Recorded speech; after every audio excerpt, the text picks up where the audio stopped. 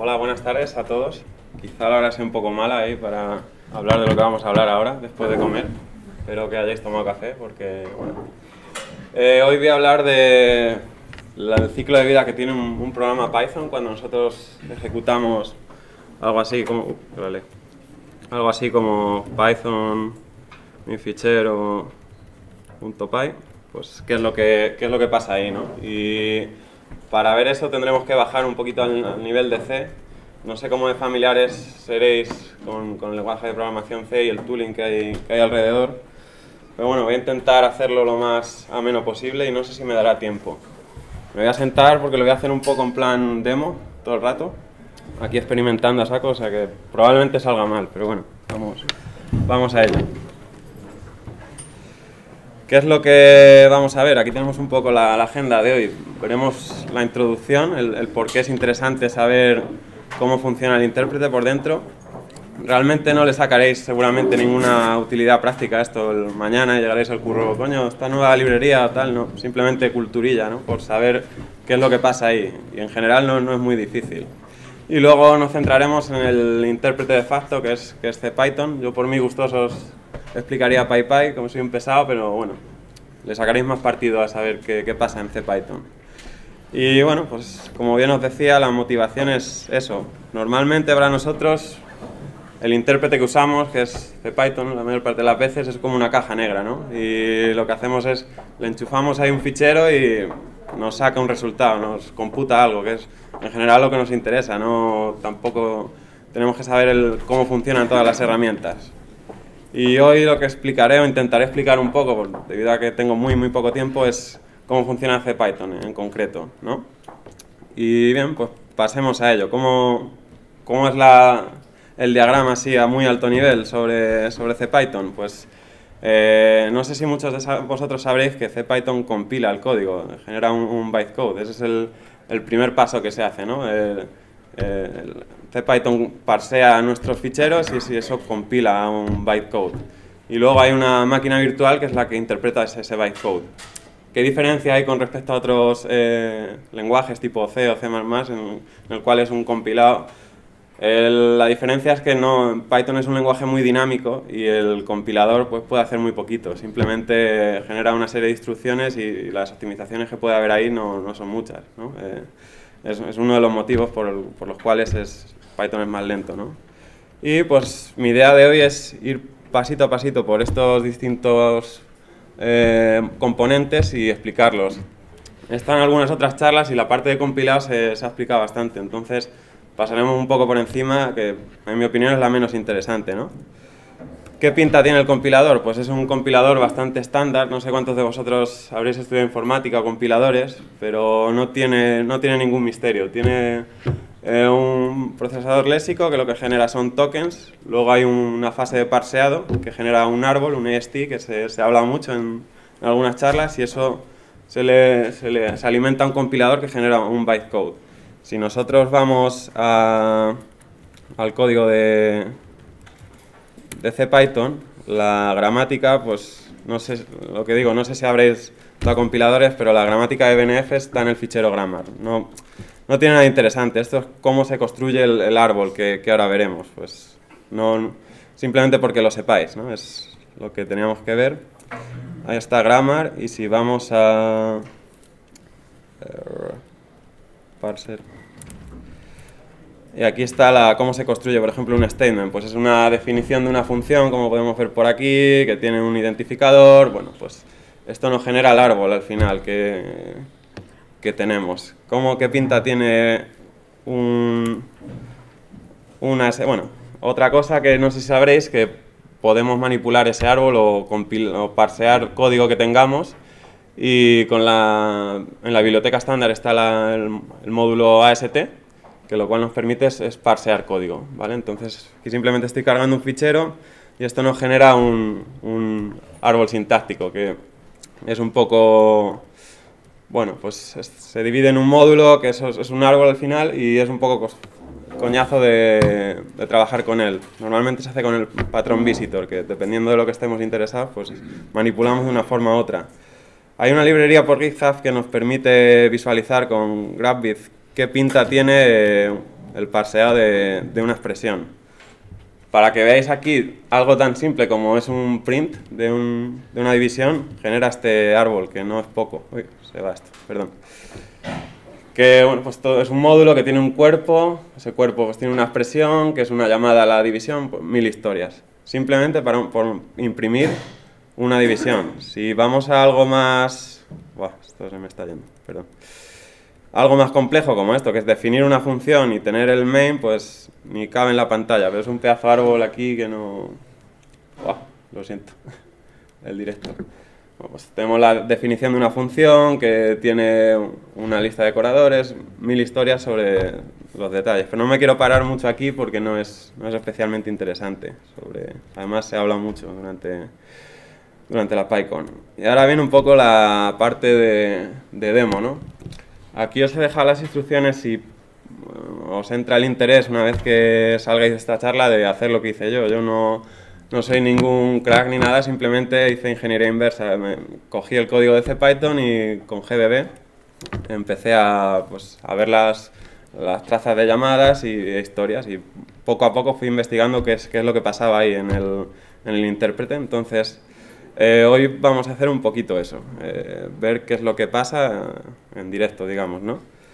Eh, ya he compilado el, código porque tarda un poquito y tengo aquí GDB corriendo he puesto un breakpoint en el punto en el que se, el intérprete se, inicializa, porque esto, Python no deja de ser un programa al final, que lo que hace es que consume un fichero y eso computa algo, ¿no? Y eso tiene un estado, una serie, no, no hay magia ahí. Por ejemplo, cuando los módulos que se importan, los built-ins, que por ejemplo, pues true, false, dict, todos esos símbolos que nosotros tenemos acceso cuando, cuando arrancamos Python, pues eso eso importa, eso es un estado, un, programa que hay corriendo y que tiene esos símbolos ahí, ¿no? Entonces vamos a ver qué, qué pasa cuando Python arranca. Vale, pues bueno, estos son funciones... Eh, ¿Podéis ver el código bien? Eh, no, ¿verdad? Voy a darle la vuelta.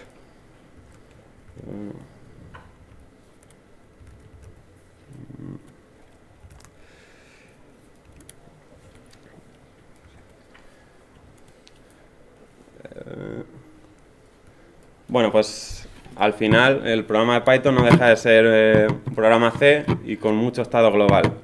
Esto es uno de los grandes problemas de diseño de los cuales tenemos ahí el, famoso GIL, que no sé si sabréis de él. Estamos en el trap básico, no tendréis por qué, pero bueno. Al final no dejan de ser un montón de estado global por ahí, entonces hay que meter muchos checks de estos de tipo está inicializado. Aquí hay muchísimo detalle que no vamos a entrar de porque al final Python se compila en muchas plataformas y bueno, hay muchos ifdefs, que son macros de C, que dependiendo de ciertas condiciones pues se compilan trozos de código o no, pero bueno, vamos a ir a, lo, a lo, básico. ¿Vale? Eh, saltamos aquí, pues por ejemplo, las variables de entorno que nosotros podemos eh, setear, pues aquí es donde se comprueba y donde eso activa un modo de, de intérprete u otro. Pues pues hay unas cuantas. Inicializamos el generador de números aleatorios. Y ahora viene aquí una parte interesante. Antes hablaba de que hay un, estado, hay un, el intérprete al final es, tiene un estado y eso no deja de ser una estructura de, C, que ya digo, no sé cómo de... podría ser como una clase al final, pero son, simplemente tiene, tiene datos, ¿vale? No sé si lo, ¿Y qué tiene el, estado del, intérprete? Pues tiene los módulos que hemos cargado en memoria. No sé si, ayer estuvisteis en la charla de, import, pues cuando se importa un módulo, pues eso va a parar ahí. Es un PyObject es todo en Python, a nivel de C es un PyObject, que es lo que nos permite que, que sea genérico, que sea un lenguaje dinámicamente tipado, ¿vale? Tenemos eh, los built-ins, que ahora haremos una jugarreta un poco sucia, que es toda esa parte que nosotros tenemos por defecto en Python, true, false, dict, eh, todas esas, palabras que hay por ahí pululando. Eh, de nuevo sale a, colación el tema de la charla de ayer de, import, que no sé si estuvisteis algunos, pero hay distintos modos de hacer import. Esto también se, el estado está aquí, el path, el Python path está aquí, la caché donde se guardan ciertas cosas y bueno, Pues esta es la, parte donde, donde se guarda el estado, donde están nuestros módulos importados, donde está, cuando hacemos import sys, eh, al final accedemos aquí, que tiene información relativa al sistema, eh, ese tipo de cosas, pues todo está aquí. Al final es un objeto Dios que está por ahí pululando todo el rato, ¿vale? Si vais teniendo alguna duda, no dudéis en pararme, ¿vale? Que quizá voy un poco rápido, pero... Y esto simplemente reserva en, memoria el espacio requerido para, para esa estructura. Comprobaciones. Y ahora viene otra parte, otra parte peliaguda de, de CPython y es eh, el GIL. Al final en esta parte estamos eh, gestionando el, threading de, de CPython. Y esto de nuevo es otra estructura que hay por aquí. Que lo que hace es la gestión de, del threading en, en CPython. Y temas de, de asincronía. Bueno, pues esto ya es un poco más interno, ¿no? Pero, y más, eh, pero aquí es la parte en la que gestionamos que no, eh, no se puedan ejecutar distintos frames, distintas partes de bytecode al mismo tiempo, que es lo que el, el GIL es lo que evita. Eh, seguimos.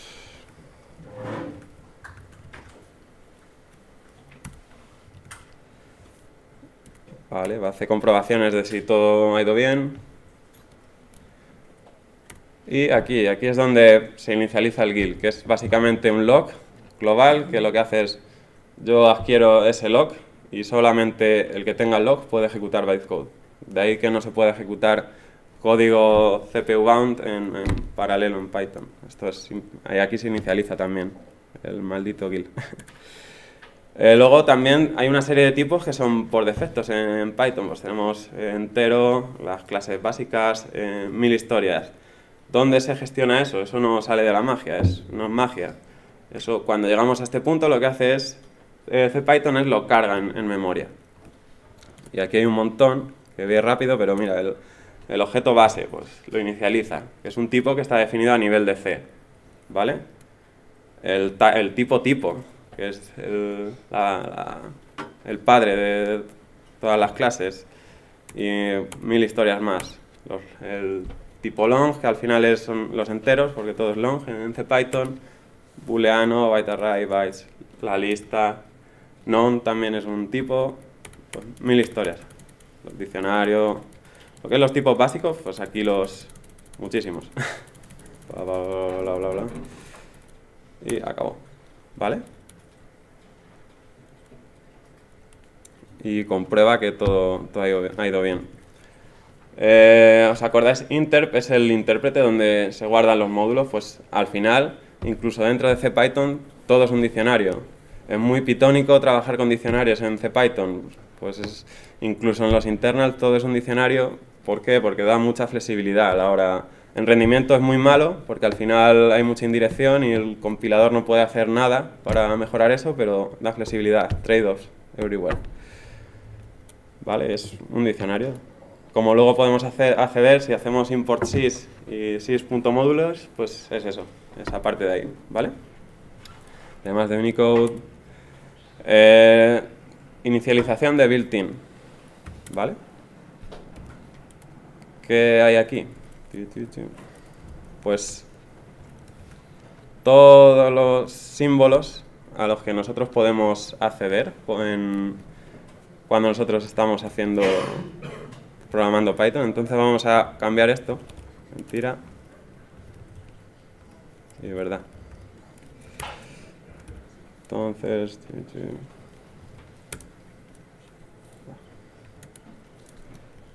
Voy a compilar esto. Tardar un ratico. Y...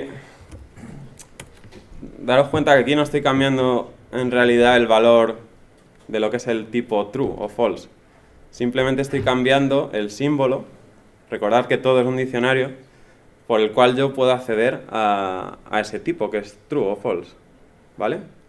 Al final dentro de, de Python hay un montón de diccionarios que funcionan así. Hay un mapping entre lo que es el tipo y en este caso pues Vamos a ver si termina de compilar esto, que tarda un rato. Formas de rellenar la charla, ¿no? Aquí compilar cosas. No sé si tenéis alguna duda hasta ahora de... ¿Sí? ¿Podrías tener eh, diferentes nombres que hicieran referencia entonces al, al mismo... Al mismo objeto, sí. al mismo objeto? Porque al final lo que está haciendo aquí es inyectar en, en tu scope, en el scope global de, de CPython, eh, la- el match el, sí, entre el tipo y el nombre, el símbolo al que tú accedes. PyPy no tiene el problema de Hill. Están trabajando en un... sí, pero sí que lo tiene, sí. El estándar sí. Y pues vamos a que veáis que no os he engañado. Bien. ah. Y... Ah, no. Bueno. Eh, ¿Verdad? Que es true. Mentira, que es false. Eh, hago, ah, igual, uno. If I es verdad.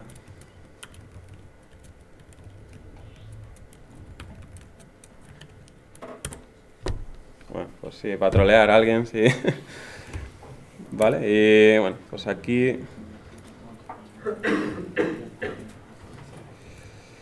Si volvemos a Life Cycle. Y al final, bueno, es lo que os decía, es otro diccionario. Los built-ins no deja de ser, dame otro diccionario. Y de ahí la razón de la que yo pueda hacer este trolling, ¿no? De cambiar verdad por true. y pues luego también se inicializa el- la parte de, de sys, que es toda la parte que conlleva eh, detalles del sistema sobre el que estamos ejecutando y arquitectura. Y por ejemplo se setea el, máximo entero, la precisión de los, del punto flotante, mil, historias, el path, todo eso va, va ahí. Pero bueno, no tiene demasiado interés, es simplemente un diccionario más que, al cual vamos añadiendo cosas. Y bueno, pues se inicializa la, la maquinaria de, import, que bueno, sin ella no podríamos casi trabajar. Y cosas ya que quizá no, no tienen demasiado detalles. El manejo de señales del sistema operativo también se... Hacer el matching de que los programas Python que nosotros escribamos eh, manejen bien las señales, pues esto también se gestiona aquí. Se añade el módulo main. No sé si sabéis que el primer módulo que es el barra baja barra baja main. De ahí la razón de if name igual igual main, pues es, es por eso, porque es el por el cual empezamos a la ejecución, ¿no? De ahí viene, simplemente. Se inicializa, se, se añade un módulo al, al sistema al principio. Y bueno, pues una vez que ya, pues ya esto ya tiene nuestro Python corriendo como nosotros estamos acostumbrados, ¿vale? ¿Hay alguna duda hasta aquí? ¿Bien? No sé cómo vamos de tiempo. ¿15? Vale, perfecto.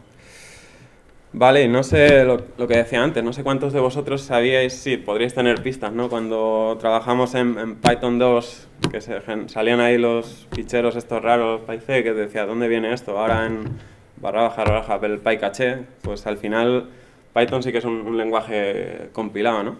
¿Y a qué compila esto? Bueno, ya os lo dije antes, no, tiene sentido hacer la pregunta, pero esto compila a un, bytecode, que era el, proceso que veíamos al principio, ¿no? De, yo tengo un fichero de texto y eso pasa por varias fases, pues el analizador léxico, se genera el árbol que veíamos antes y luego se compila a, esto. Esto lo podemos hacer, compile está es un built-in y le podemos pasar un fichero y decirle que lo ejecute. ¿Vale? Esto genera un, un objeto que es un objeto de código, un objeto Python al final. Y si miramos lo que hay dentro es, es esto, que son, pues, tiene pinta que es algo binario, ¿no? Es ahí, son, pues, sí, son, son bytes. Si esto lo pasamos algo a números, de, a números, pues esto tiene unos valores, ¿no? 124, 0, 124 otra vez. Esto es el, bytecode, ¿vale? ¿Dónde se define el,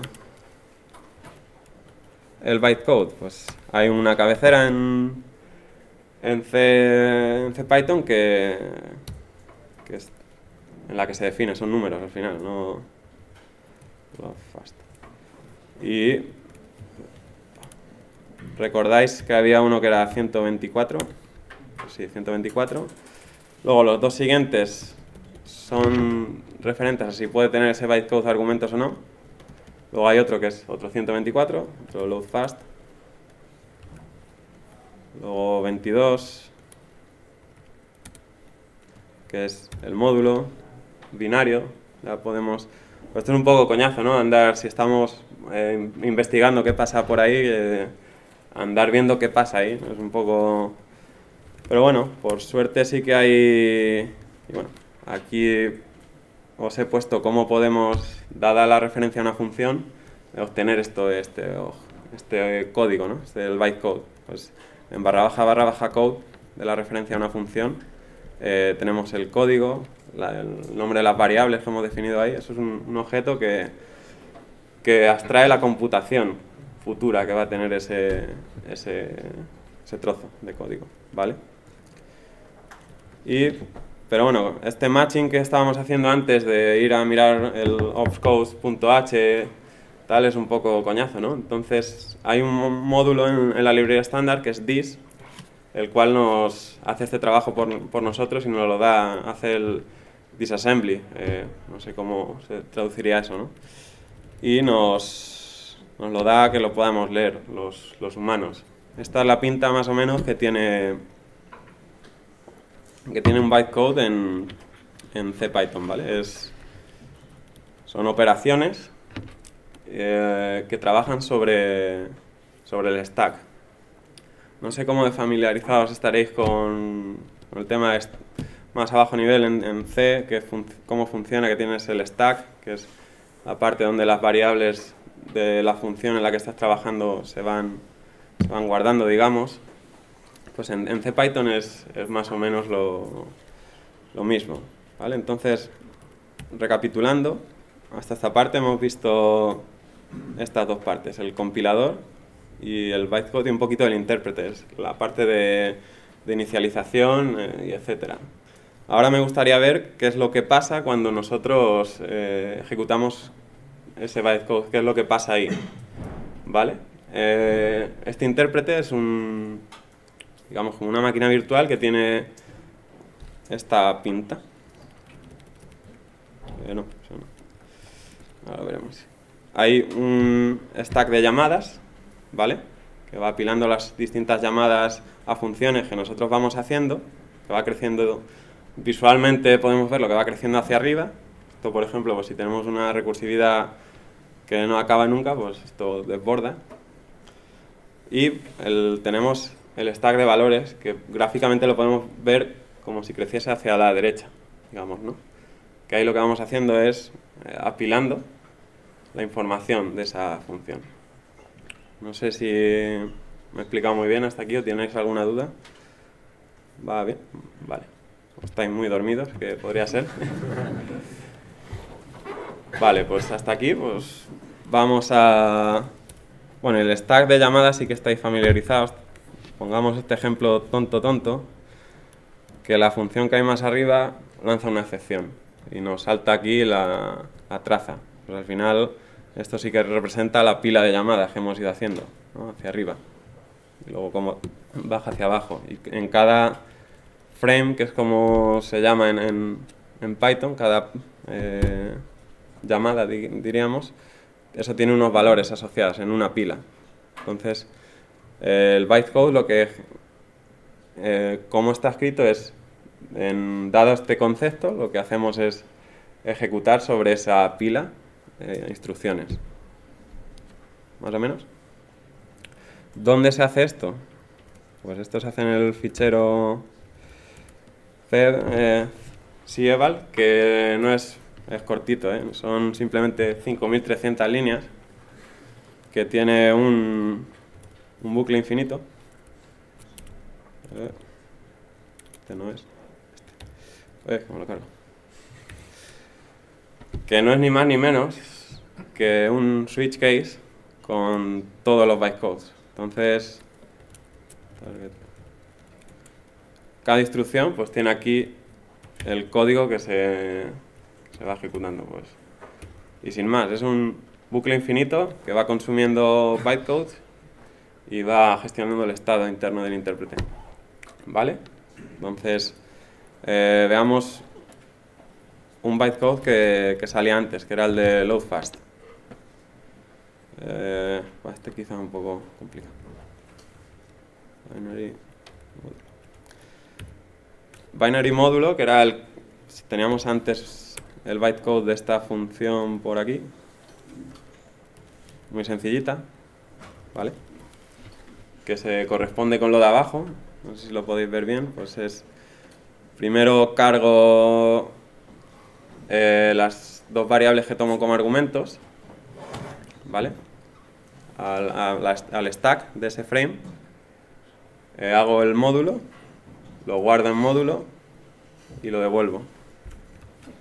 ¿Vale? Pues si venimos otra vez aquí, ¿qué hago? Cojo, yo primero apilé mis dos argumentos en la pila, ¿vale?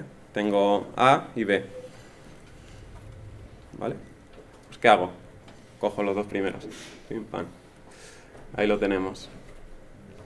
Hago aquí algunos checks porque si es una si es cadena o tiene y dependiendo de lo que sea pues o hago el formato de la, de la cadena o hago la división todo lo que os decía que el compilador no puede optimizar mucho esto porque podría ser en el momento una cadena y luego un entero pues lo dejo ya al nivel de ejecución por eso es más lento en ciertos en ciertos casos y qué hago dependiendo de lo que sea pues hago o el formateo de, de esa cadena o hago el, el módulo de, de, enteros.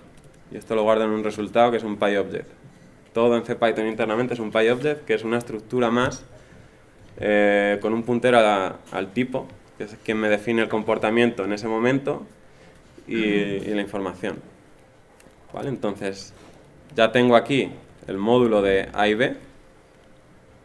¿Y qué hago? Pues tengo que seguir trabajando con mi abstracción de pila. Pues lo que tengo que hacer es poner mi resultado encima otra vez. ¿Vale? ¿Qué era lo que venía después? Tengo que guardar en mi referencia módulo aquí. Ahora esto está en, en el, resultado de esta operación, está en, la pila encima. Y el siguiente paso que tengo que hacer es guardarlo aquí. ¿Qué es lo que hace? Pues la parte de store fast. Store fast.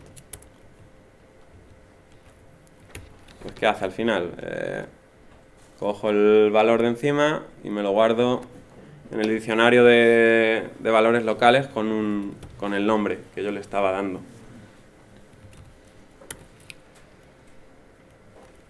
Y lo cargo otra vez y devuelvo el valor que simplemente lo que hace es coger el valor que hay encima de la pila y lo, lo, extrae.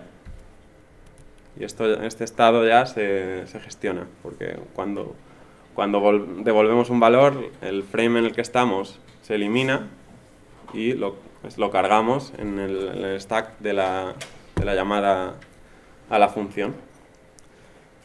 ¿Qué es lo que se hace cuando llamamos a una función? Pues call function. Y se, este, es el byte, este es el código de bytecode que es call function y lo que hacemos es básicamente espera, me va esto.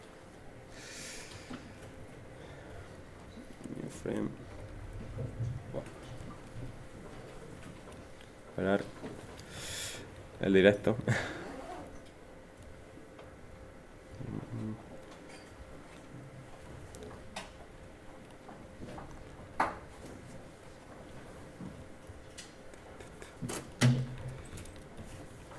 Vale, hay que ir ahondando ahí un poquito, lo siento.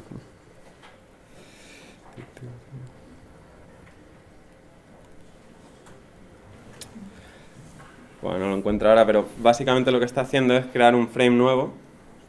Eh, los argumentos que hemos pasado a, a, ese, a, esa función se ponen en su pila y eh, ella ya puede operar. Él tiene en, su pila los, los, argumentos. De ahí viene un poco también el tema de, del scope. Cada frame tiene su scope, tiene acceso a, a los globales, las variables globales, y, y sus locales, que es un diccionario vacío en principio, y el, los valores en la pila. Ahí, in-frame. Un segundo. Lo tenía por aquí apuntado, que me creáis. Firefox.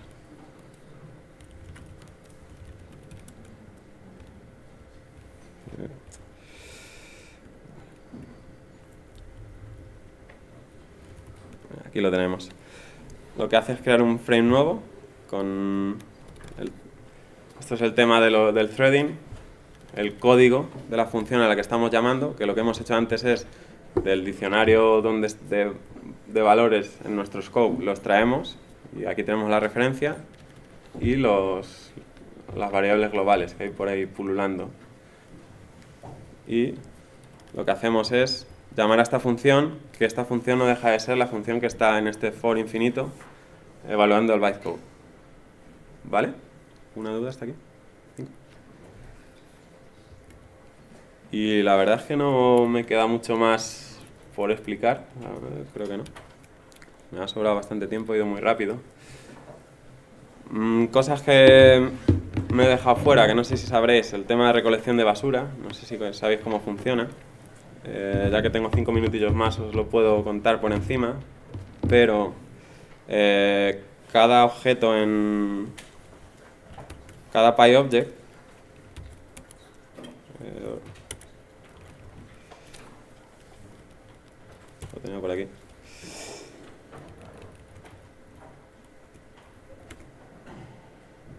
Vale.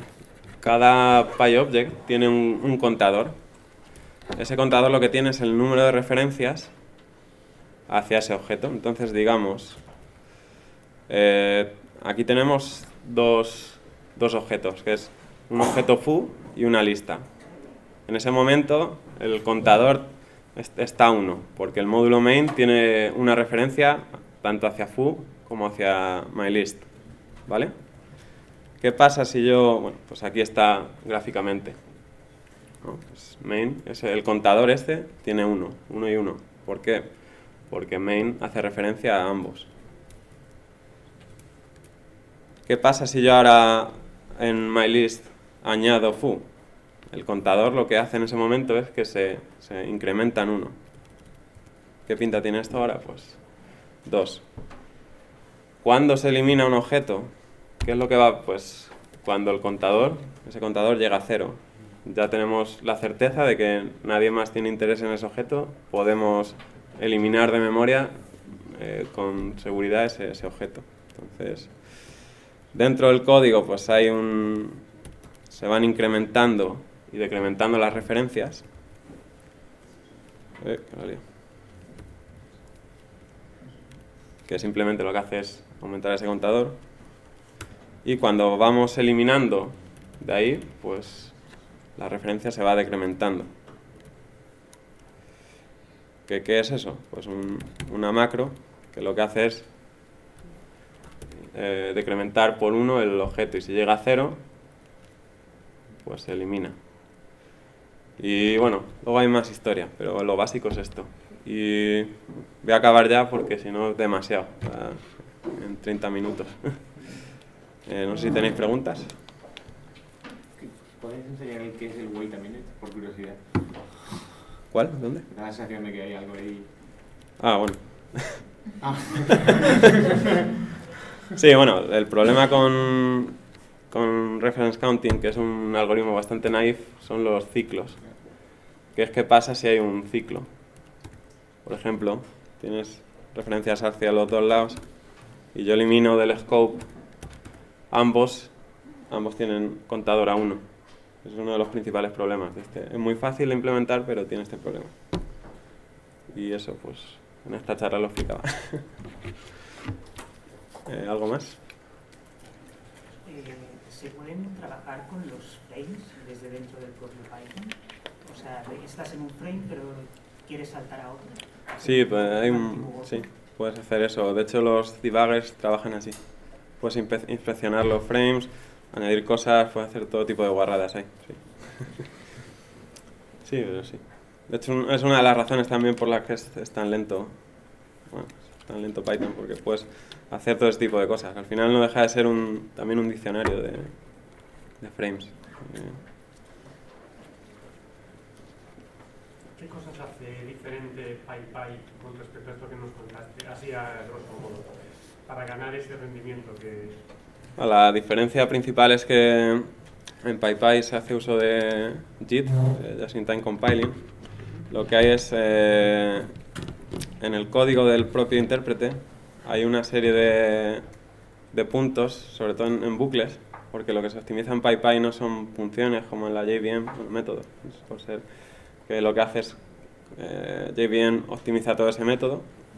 Lo que se hace es, eh, en ciertos puntos que por heurísticas y por donde más se usa en Python, se ponen unas marcas y eso es un contador, ¿no? a grosso modo.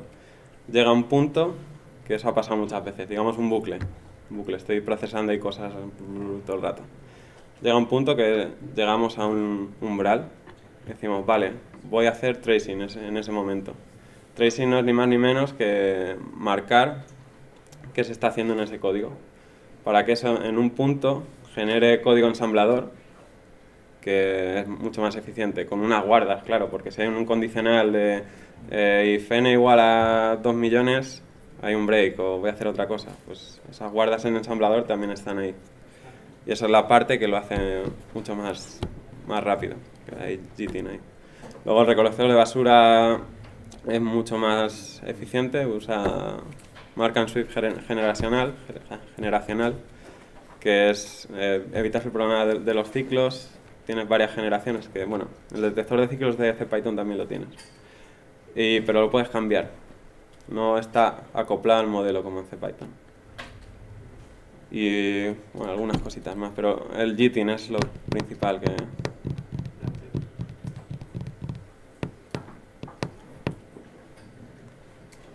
No sé si os ha abrumado mucho, he ido muy rápido, era un poco experimental hacer así la charla, no sé si... Pero bueno.